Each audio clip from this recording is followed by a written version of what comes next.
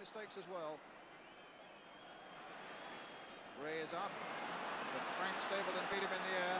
Olsen, Hughes. It's gone past Bracewell. Whiteside's onside.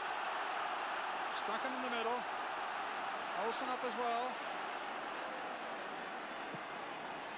The goal! Whiteside! That's incredible! How on get that past Southall? And look at the bench.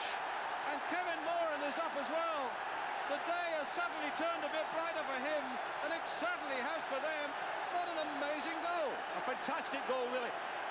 You know, he got Van den Hauwe in front of him, and he just bent it round him with his left foot, just inside the post here. You can't blame the goalkeeper on that one at all.